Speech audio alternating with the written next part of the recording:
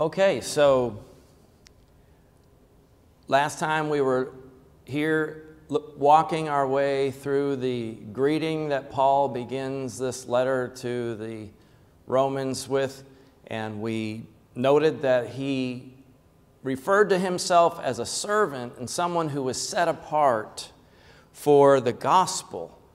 And so then he moves, this is a carefully constructed text here, so he moves from the gospel to tell us who is the object of that gospel. It was foretold in the scriptures, and it concerned his son, verse 3. So let's notice a couple things here that we, did, that we didn't have time to include last time. Verse 3, when he said, This gospel, it's concerning his son who was descended from David according to the flesh and he was declared to be the Son of God in power according to the Spirit of holiness by his resurrection from the dead. So a couple things here. We didn't I don't believe we commented on this expression spirit of holiness.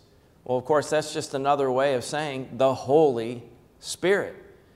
God's Spirit, because God is holy, the Spirit of God is a spirit of holiness. And this is not how Paul typically refers to the Holy Spirit. But he's, as we pointed out, sort of like with the prologue of John's Gospel, here in the opening of this letter, Paul is introducing a lot of key terms, a lot of key concepts that are going to be emphases that run through the letter or that we're going to, we're going to encounter at various points along the way. And the Holy Spirit is going to be something Paul discusses it at great length in relationship to the Christian life in Romans chapter 8. So he talks about the Holy Spirit here, but notice how Jesus is declared to be, verse 4, he's declared to be the Son of God by the resurrection from the dead, Jesus Christ our Lord. So it's through the resurrection, and that the Holy Spirit was involved in the resurrection of Christ. So we're going to look at this uh, text in chapter 8 here in a moment where we see the Holy Spirit is linked not only to the resurrection of Jesus from the dead, but our resurrection from the dead. But, but we have to stress the importance of the resurrection to, to the gospel. We often emphasize the death of Christ, and rightly so. And I think a lot of times we take for granted that people understand that Jesus was raised on the third day.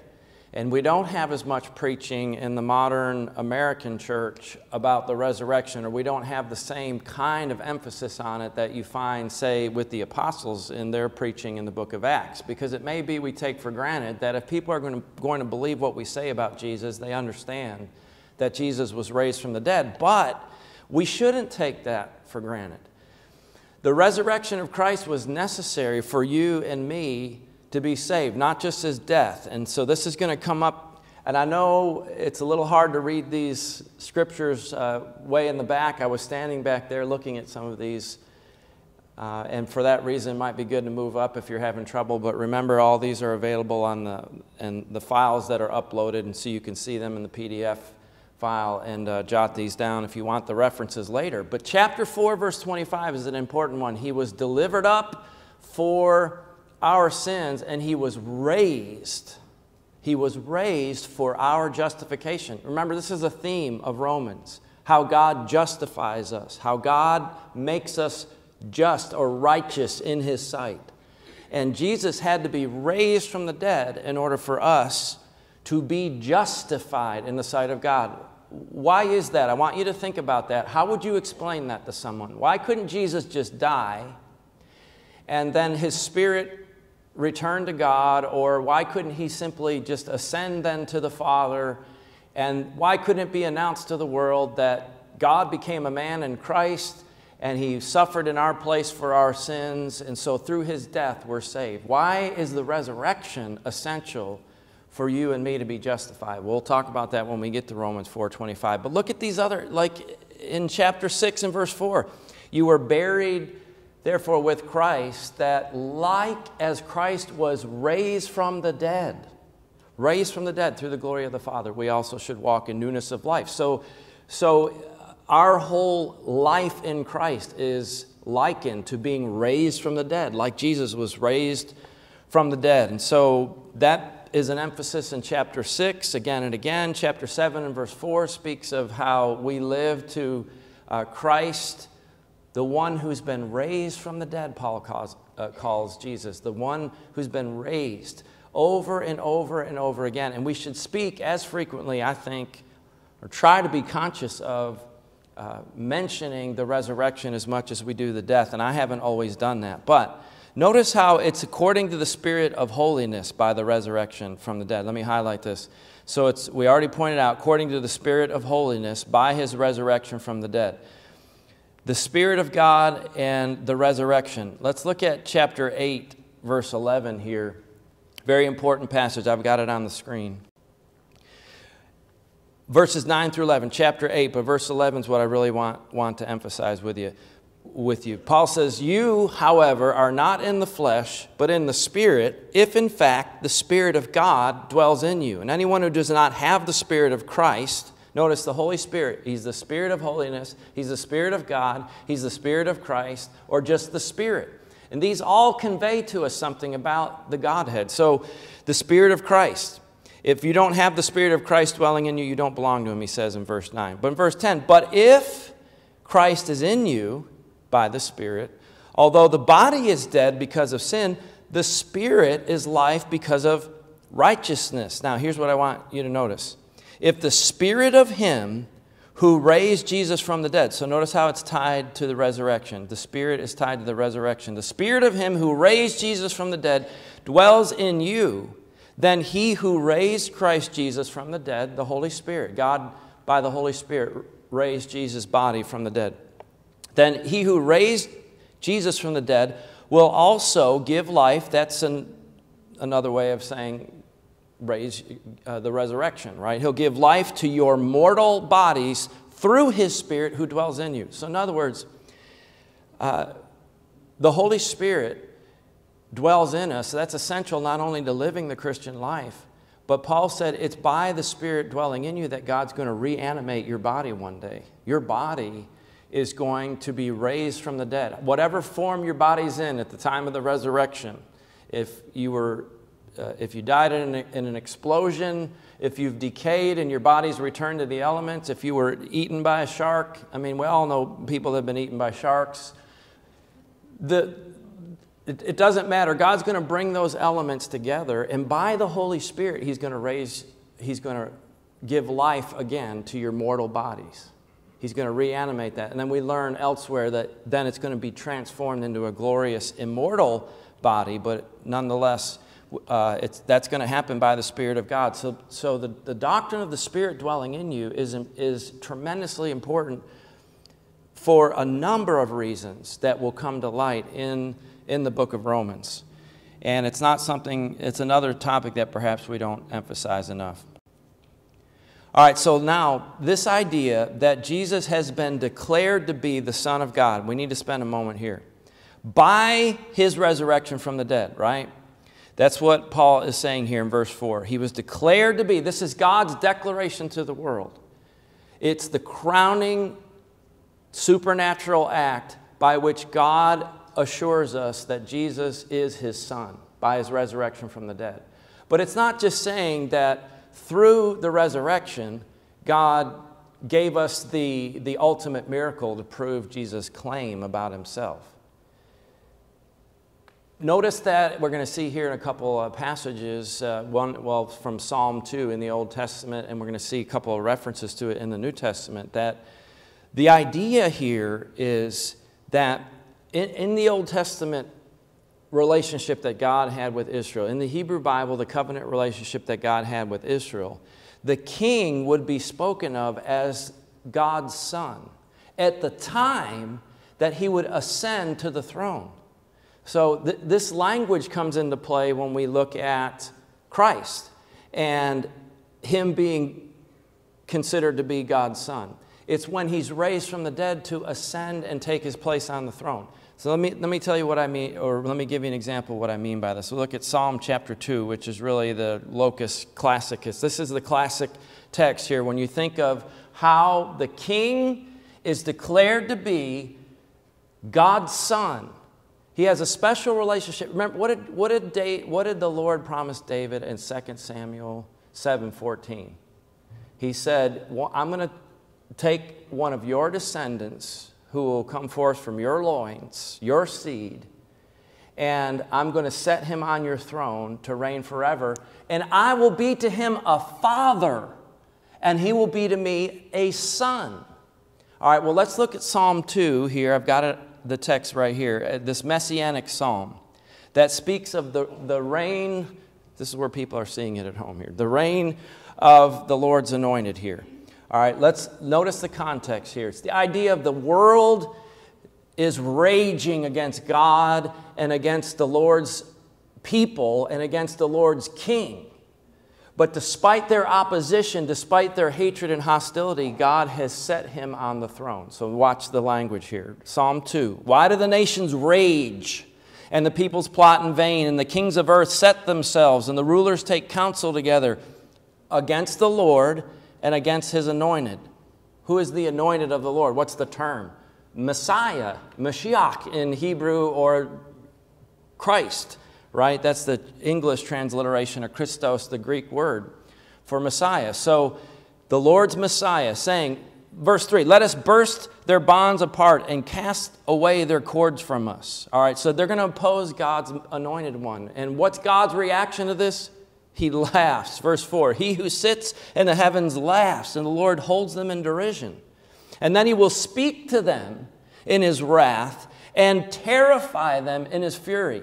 And how's he going to do that? Here, by, by telling them that despite your opposition, your opposition is, is nothing. I laugh at your pitiful uh, attempt to thwart my purpose. I've set my son, I've set him on the throne. So notice what he says As for me, I have set my king on Zion, my holy hill. Now, the psalm shifts to the king speaking. Now it's the Messiah speaking. And the Messiah says in verse 7 I will tell of the decree that the Lord said to me, Yahweh said to me, You are my son. Today I have begotten you. Now, for a long time, I thought when this passage was uh, cited in the New Testament in Acts 13 33, and Hebrews 1 5 refers to this with reference to Jesus, and I thought it was the, the incarnation, right? Because when, when God became a man in Christ, he was begotten of Mary, right? So John 3:16, for God so loved the world, he gave his only begotten son. So when I read this language, begotten, I was thinking, well, this means this is when Jesus came in the flesh as a man. But I was wrong about that. It's actually about the resurrection. It's about the resurrection because it's upon being raised that God says, Today you are my son. See, now I've declared you are the one I've chosen. You are my beloved. You are my anointed one. You are my son. So that's cited here in the, in the New Testament. Let me pull up the uh, references. Whoops. Let's see if I can do this. Yes, okay. So in Act, Paul cites that in Hebrews 1 5 and in Acts 13 33. But notice when Peter then is preaching Christ on the day of Pentecost in Acts chapter 2, what does he say? All right, he says about David that uh, he says, verse 30 being therefore a prophet david was a prophet and knowing god had sworn with an oath to him that he would set one of his descendants on his throne 2 samuel 7.14 that verse where he said i'm going to uh, today, uh, or rather, one day I'm going to put, put one on your throne and he will be my son. I will be a father to him and he'll be my son. So he said, knowing that God had sworn with an oath to him that he would set one of his descendants on his throne, he foresaw and spoke of the resurrection of Christ. That's what he's talking about. When God made that promise, it was a promise for one to reign upon being raised from the dead. So that's the importance of the declaration. Paul said God has declared Jesus to be his son by the resurrection from the dead. Does that make sense? You see how the New Testament is making a critical point about his, his status as Messiah, as the Son of God, upon his being raised up to, to reign on the throne. That's how he, uh, that is not only, he, he's the Son of God, not only in the incarnation, but in the resurrection and ascension, Yeah, I- the coronation.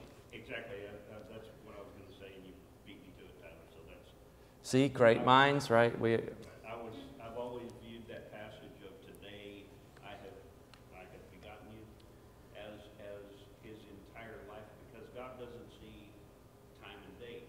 He sees everything in one, in one view, so it's always been my thought that it's his entire life, his birth, his life, and his uh, resurrection, because he multiple times talks to Christ when he was baptized. You are my son. That's right. He's already he declares he declares Jesus to be his son at different times and in different ways. And right, that thread runs through from from the incarnation, really from from eternal. I don't believe in the eternal sonship of Christ. That's a, a doctrine widely held in church history that Jesus has been the Son of God from all of eternity. And I don't. Uh, in fact, the way it's worded is He's eternally begotten. But, but to be begotten refers to something that happens at a moment in time or at a given point in history, and I don't see how you could be eternally begotten. But so I believe Jesus, I believe the eternal Word, the Logos, became the Son in the incarnation, and then He's declared to be the Son at His baptism and at the transfiguration, and then by His resurrection. And Paul says that's what Psalm 2 is talking about. He had to convince the Jews that when Psalm 2 and when in 2 Samuel 7:14 when God made this promise that he would set one on the throne, that the Messiah would be on the throne, it, he was foreseeing one being raised from the dead because they thought Jesus' death meant he, he couldn't be the Messiah. And so he makes that point next too, which is something we would, something we would look at more in detail when we start to. Whoops, okay. All right, now notice then, I want you to spend a few minutes with me on a very important statement here because it has to do, I think, with how people view us in the churches of Christ and one of the most common misunderstandings of really Scripture, but of the book of Romans in particular. And it has to do with, look at this statement in verse 5. Through Christ, then, he calls Jesus Christ, by the way, our Lord. I like that it, it, it's a personal note to say that he's not just Jesus Christ, the Lord, he is the Lord, but he's our Lord. He's my Lord, and he's your Lord. And to say it that way is to claim him, as it were. So he's Jesus Christ, our Lord. Sometimes Paul says, the Lord Jesus Christ, but often that's a, a, a common way Paul refers to Jesus. All right? So he says, through whom, through Jesus, we've received grace and apostleship. I told you that he starts off in verse 1 referring to himself as an apostle and that he would come back around to that in verse 5. It sort of rounds out the, these, uh, this opening section here. Through whom we've received grace and apostleship to bring about. Now, why did the Lord make Paul an apostle? Why did he select the disciples and send them out into the world? That's what apostle means one who is sent. What's the point? Why were they sent out? What does the text say? To bring about the obedience of faith for the sake of his name among all the nations. All right, the obedience of faith. That statement is found at the beginning of this letter and again at the end. So that when we, we pointed out that that's a, that literary device where you sort of bracket everything you're saying with a statement at the beginning and a statement at the end uh, is an inclusio. And that, uh, that is how this epistle is bookended. This letter that talks about how you're justified by faith and not by works of law begins and ends by saying, by referring to something called the obedience of faith. And in fact, it, if you compare the beginning and the end of the letter, I'm not going to go through the verses here specifically and walk through them verse by verse with you, but when you look at here, chapter, chapter 1 on the, on the left, you'll notice, um, and I'm going to give you the references here, when you compare that to this closing of the letter in chapter 16, look at what you find here. He mentions these things both at the beginning and the end. In chapter 1 and verse 1, he refers to the gospel, and then he says that again in chapter 16, verse 25. He calls it my gospel in, in both places. And then in chapter 1 and verse 2, he mentions the Holy Scriptures. He does, and he comes back to, then, to that again at the end. He mentions God's glory, that this is for the sake of his name. And then again at the end of the letter, he says to the only wise God be glory forever. That's right at the very close of the letter. So that's at chapter 16 and verse 27. But what I'm keying in on with you here is there, there are these beautiful parallels. I, I, I want you to see that because this is a letter. It's easy to miss that if you're spreading out the reading of Romans over, like we would typically do, I suppose, over a number of days. You, you make a goal, maybe read a chapter a day. I've read it through in one sitting, and I'm trying to do that again and again and again as we go through the class, and I encourage you to do that. I know a couple of you have. But it, it probably take you a couple hours. It took me a couple hours. But when you do it all at once, then, then you kind of see some of these things that tie together. They're fresh in your mind. You see these connections. But right here is what I'm referring to. Look at this. How that you have here the obedience of faith among the nations is how he says it uh, in chapter 1 and verse 5, he talks about obedient, uh, to bring about the obedience of faith for his name's sake among all the nations. And at the end of the letter, he says, among the Gentiles. So uh, I want to make sure I give you the right, yeah, to bring about the obedience of faith. So let's talk about that expression for a minute. The obedience of faith. Now, the reason this is important is think about what's the principal reason when we try to teach people that it's necessary to be baptized for the remission of sins? What's the main objection that people make? If they've been indoctrinated with denominational, with a denominational teaching, they've been taught they can just invite Christ into their heart and be saved at that moment, say a prayer. That's what I was taught, as you've heard me say many times. And then if you say, well, no, uh, the Bible says that it's necessary to repent and then be baptized for the, in order to have the remission of your sins. What, what's the main objection that people make to that? It's so confusing when everyone talks at once, though, so I'm going to have to insist one at a time. I know it's hard to talk. We're spread out and everyone's wearing a mask. Yeah, I can. I don't know if it's uh, what you're looking for, but I know uh, people I've talked to, if they were uh, indoctrinated at an early age and so forth, they would be almost a curse to family. Oh, well, okay. No, that's not what I'm looking for. but I mean, if there's a biblical, when they appeal to Scripture, and, and I could probably try to draw it out of you, and eventually you'd get it, but let me just state it. But I know that is one grounds on which people are resistant to accept what the Bible says about uh, the necessity of baptism because their family rejects that idea. But why did their family reject it? What I'm, people reject it because they've been taught you're saved by faith alone without any further act of obedience at all. And that if you have to do something, like go get in the water, then that would be a work that you're doing. And the Bible teaches you're saved by grace through faith, not of works. And nowhere else in the Bible does Paul stress more emphatically that you're saved, you're justified by faith and not by works than he does in the book of Romans. So the book of Romans becomes exhibit A in people's opposition to what we're trying to teach about baptism when we're trying to treat, teach the truth of the gospel and what the Bible says about the necessity of baptism. People say, well, that can't be true because then you would be earning your salvation by your own works your own obedience, and that's why salvation is solely by faith or by faith, by faith alone. Well, let, let's think about that for a minute because that then becomes a factor in how you interpret this expression the obedience of faith. All right, the obedience of faith. This idea, I'm going to give you some examples here, but one. In, in the Greek New Testament, when you say, uh, when you have an expression like this, it's just the word faith. But it's in the genitive case. So that just keep that word in mind, the genitive. All right, we have a whole separate word for it, of, but the genitive construction is it's capable of a number of different uh, interpretations.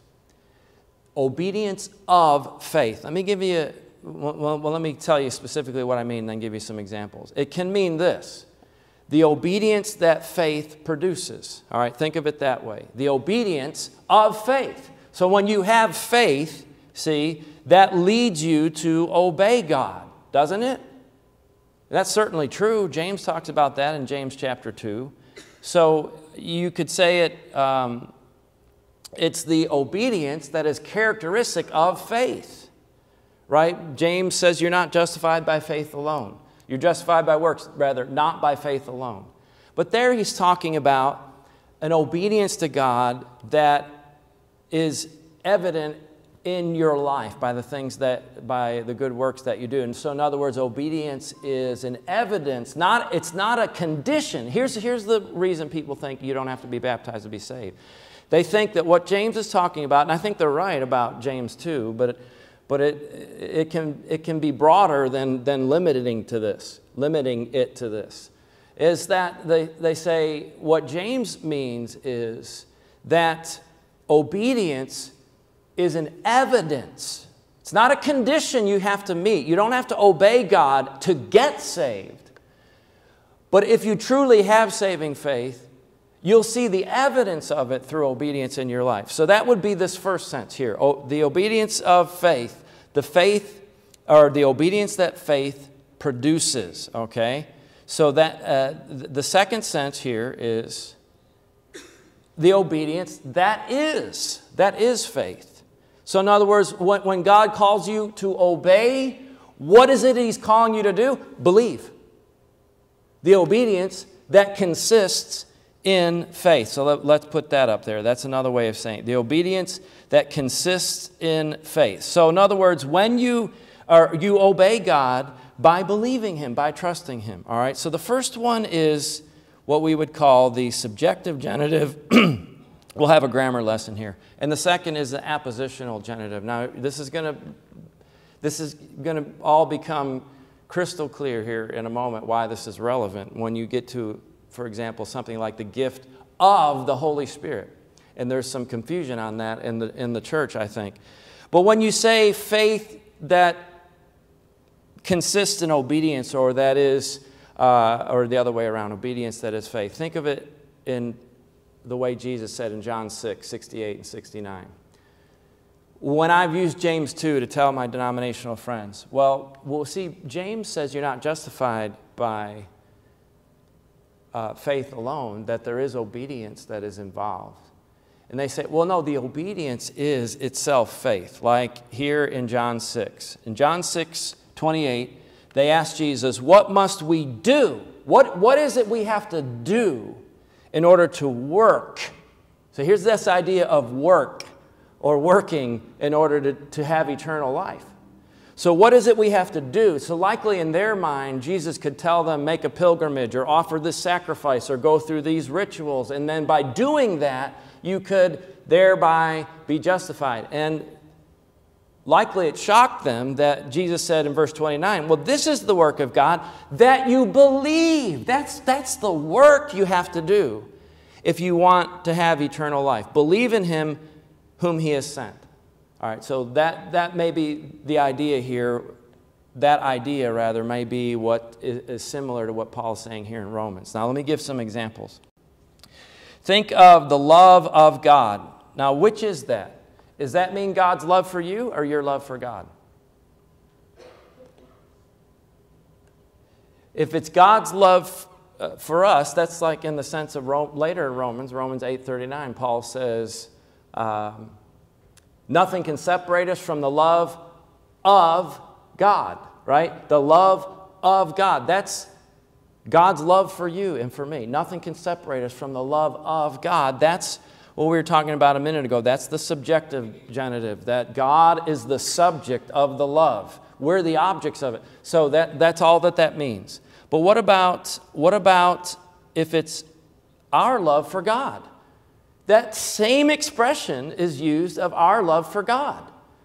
Where, for example, in 1 John 5 3, John says, This is the love of God that we keep his commandments. That's not God's love for me, that's my love for God. This is the love of God that we keep his commandments. So that is an example of what would be called objective genitive. Think of it this way like when the Bible speaks of the fear of God.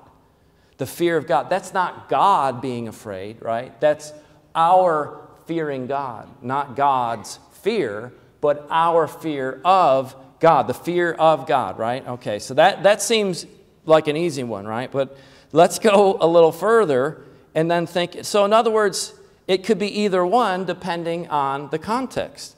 So, this is helpful because there is debate in the brotherhood over what is the gift of the Holy Spirit in Acts 2 38. You repent and you're baptized in the name of Jesus Christ for the remission of your sins, and you receive the gift of the Holy Spirit. Well, if it's subjective genitive, that means it's something the Holy Spirit gives you, the Holy Spirit's gift.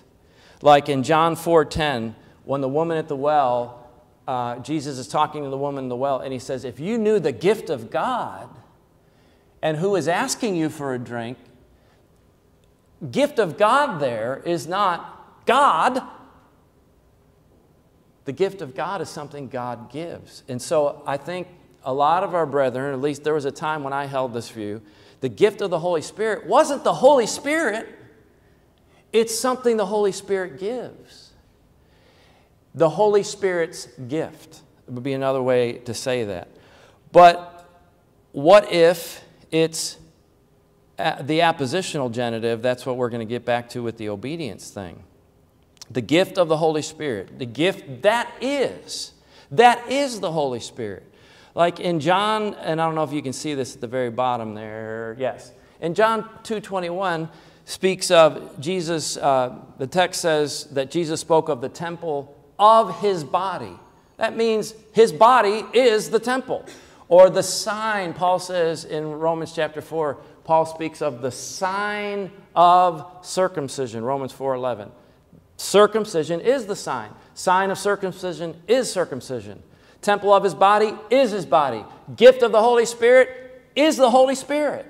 I just read a, a, a website um, by an elder in the church who's also um, an active uh, Bible teacher, and he has a whole section of his website about how the gift of the Holy Spirit doesn't mean the Holy Spirit as a gift. It means something the Holy Spirit gives you, like salvation. And uh, that's, uh, I think, the debate that you'll have in the brotherhood is do you get the Holy Spirit when you become a Christian? Or when Paul, or rather, when Peter said you'll receive the gift of the Holy Spirit, did he mean it's something that the Holy Spirit is giving you? Not the Spirit himself, but something the Holy Spirit gives. So let's go back to our statement. Is the obedience of faith mean, meaning when you believe, your faith produces obedience? Or does it mean the faith that the obedience God requires of you is, is to just believe? What's the difference? The context is the key, right? You have to look at the context to know whether the love of God is God's love for us or the love of God is our love for God, right? Well, what's the context in the book of Romans? How, what do we find in the book of Romans? Notice how obedience, look at all these texts here that I have. Now, do we have four minutes left? Did I get that right? It's 936, right? We end at 940 we've only been doing this for 10 or 12 weeks, right? You think I'd know by now. I think we have four minutes left. So let's do this. Notice the context in the book of Romans. I had all these verses here listed, and I'm not going to look at them all, but let's just look at one or two. Here in chapter 6, Paul says, uh, Do you not know, verse 16, that if you present yourselves to anyone as obedient slaves, you are the slaves of the one you obey. Notice how he's talking about obedience again either of sin, which leads to death, or of obedience to God, which leads to righteousness. But thanks be to God that you were once the servants of sin, but you've become obedient from the heart to that standard of teaching. And what happens when you become obedient to the teaching? What happens? Verse 18, you're set free from sin. So there is obedience that is necessary in order to be set free from sin. Let's look at uh, a couple more and then we'll end. Notice here at the beginning of the letter, chapter 1, verse 8, Paul says, Your faith is proclaimed. He says, Your faith is proclaimed in all the world. Whoops. Your faith is proclaimed in all the world. But at the end of the letter, in this parallel statement, remember we said there's a lot of things that are parallel. At the end of the letter, he says, Your obedience, your obedience is known to all. So it's a parallel statement in where he talks about obedience then there. And I could give you, uh, well, let's look at this one. Look at chapter 10 where he says, um, verse 16, they've not all obeyed the gospel. Do you know that's an expression I never heard anyone use until I became a member of the church? When I was in the denominational world, they never, I, I never heard anyone ever say that the gospel is something you obey. It was always believe, believe, believe the gospel. But we have a couple of references in the New Testament here, 1 Peter 4 16. You obey the, the gospel is also something to obey. So notice he said, For Isaiah says, Lord, who has believed? So notice once more, you have this equivalent of obedience and belief, right? And so we could give example after example of that. Let's go back then to this idea of the context settling it. So when you look at the context of the book, you see as Paul moves from the doctrinal section of the book to the what we call the practical section, and where he makes the application of all these doctrinal themes, he says, therefore, present your bodies as a living sacrifice. So, in other words, your belief in all the stuff I just told you about should lead to this obedience. So it is faith that leads to obedience, but it's not just that, right? It, it can have a broader sense. And so I really think here that it can be both. So if you're not thoroughly confused, then you haven't been paying attention. But really, honestly, um, I think it can be both. That the obedience, Paul was sent out, he said, to bring about obedience of faith, to bring people, when they hear the gospel, to obedience of believing it. They need to be brought to a point where they believe it, obedience that consists in faith. But then, but then, let me show you. Uh, well, I'm going to put this formula and we're done. This, I'm going to put some math up here. I know you were told there would be no math if you came to Bible class, but we're going to have a formula. But then it's also something that obedience is something that results from your faith too. So, what I was taught is it's just you believe and you're saved. There's no obedience of any kind whatsoever. It's just a mental act. You accept that Christ is the Son of God, you're saved. And then, you see, you obey, then that leads to obedience as a result. It's evidentiary, it's not conditional.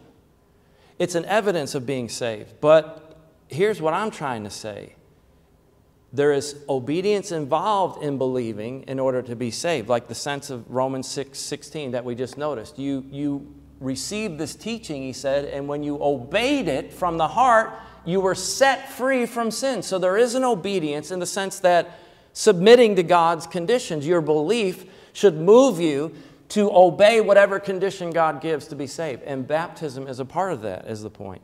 And then, as well, it should result in an obedient life a life of discipleship, like he says in chapter 12, 1 and 2. Now, now therefore, don't be conformed to this world, but be transformed. See, the, the, disciple, the life of discipleship is a life of obedience brought about by faith. So, saving faith, obedience of faith, I think the point is, is both faith as the obedience that God requires, but also the obedient life that faith produces. Does that, does that make sense? No. Okay.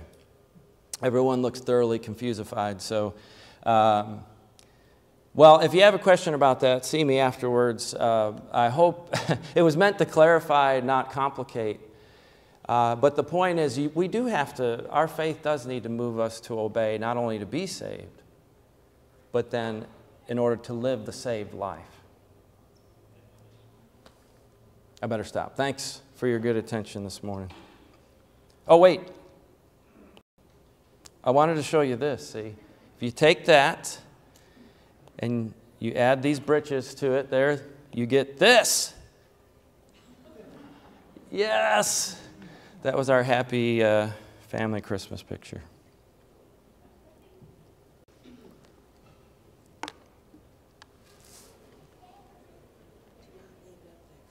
Oops.